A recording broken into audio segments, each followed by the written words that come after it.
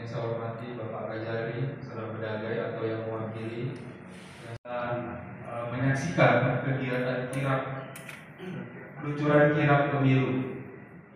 Ya, hari ini KPU Republik Indonesia beserta jajarannya di seluruh provinsi dan seluruh kabupaten kota melaksanakan kegiatan peluncuran kirap pemilu tahun 2024 di mana di tanggal ini 14 Februari 2023 adalah satu tahun menuju 14 Februari 2024. Jadi kirap ini sendiri adalah kegiatan pawai dari tujuh titik dari tujuh titik yang ada di Indonesia yang mana pawai nanti akan membawa bendera partai politik nasional yang ikut berkontestasi dalam pemilu 2024 nantinya.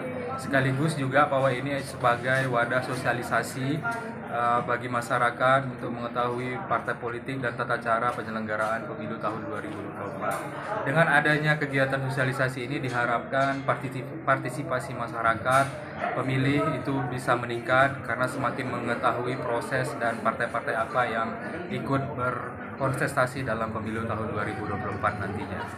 Ini dilaksanakan dengan harapan meningkatnya partisipasi politik yang terhormat Bapak Bupati Kabupaten Sandar Bedagai yang saya hormati yang saya hormati rekan-rekan komisioner dan sekretaris di jajaran KPU Kabupaten Sandar Bedagai.